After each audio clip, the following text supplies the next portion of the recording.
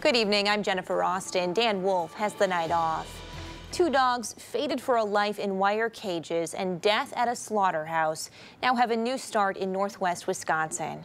The Northwoods Humane Society in Hayward is now a temporary home for the dogs rescued from a dog meat farm in South Korea. KBJR 6's Jessie Slater brings us the story. What do you say? Meet Gummo, a cheery, energetic dog who loves being the center of attention. Little Gummo is socialized, he's happy, he's jumping around, he thinks grass is the coolest thing on the planet. And then there's Stella, a quiet, reserved pup who is just coming around to human interaction. Stella, who's a little shut down, she kind of curled up in the ball, a ball when she first got here, but she's already been up and wagged. But what do these two have in common? Well, these guys would have had a really rough life. Um, yeah. yeah.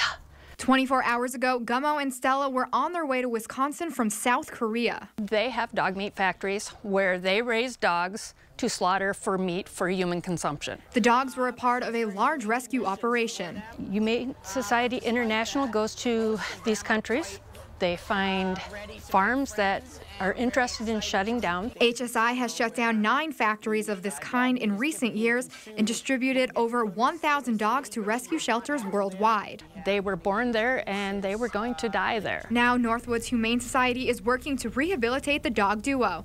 Both dogs came in with seriously matted fur and little social interaction.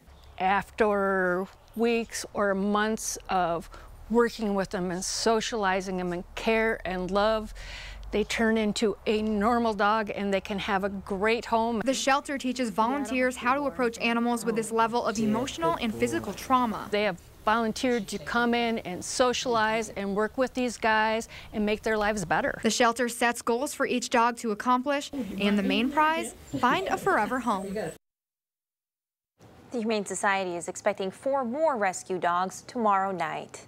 And just this evening, some good news. Little Gummo had a grooming session. Look at him. He looks wonderful. Volunteers bathed him and gave him a haircut, and he looks happy. The shelter decided that with his hair no longer a gummy mess, that a name change would be fitting.